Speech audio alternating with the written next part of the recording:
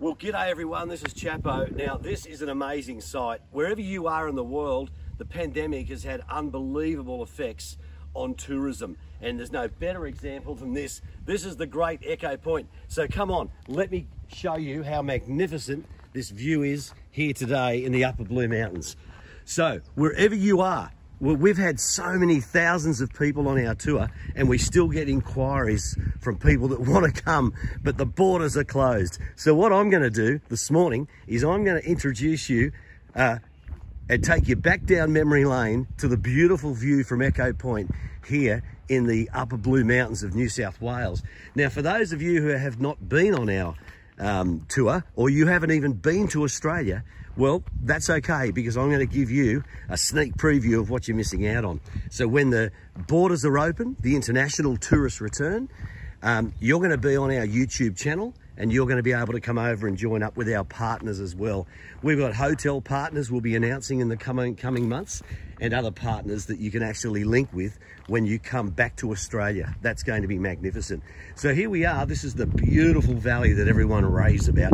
Scenic World. For those people that have been here, you can see the beautiful ancient rainforest that sits down there right now. They're open today.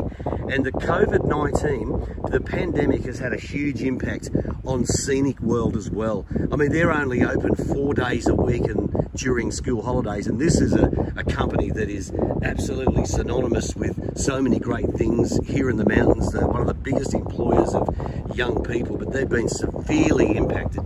Uh, but you can see there the, uh, the scenic centre on its way down the cliff face now. You can just see it there. It's absolutely sensational. I love Scenic World, it's beautiful. Mount Solitary sits out there, and let me show you, this is the big the big thing that people come to see, or the uh, the feature of the Blue Mountains, is the magnificent Three Sisters. I mean, they are just stunning to look at.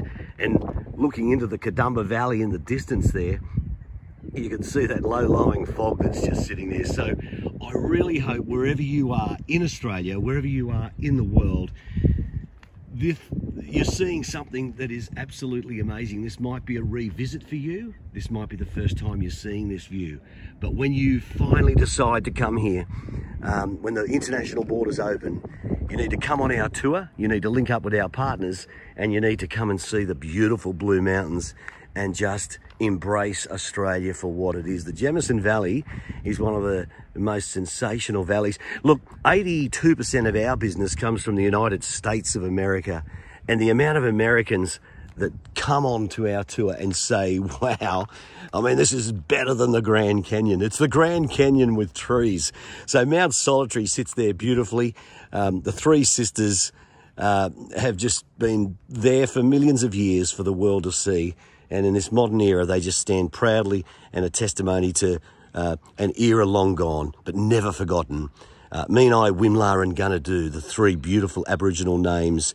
Uh, Gundungurra and the Darug people, this is their land. We absolutely embrace that as well.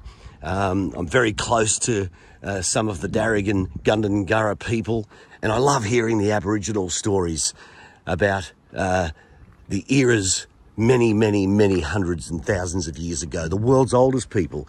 It's absolutely sensational. We can't wait to visit your country and we can't wait for you to visit our country. So I'm going to sign off here from Echo Point and I'll catch you later.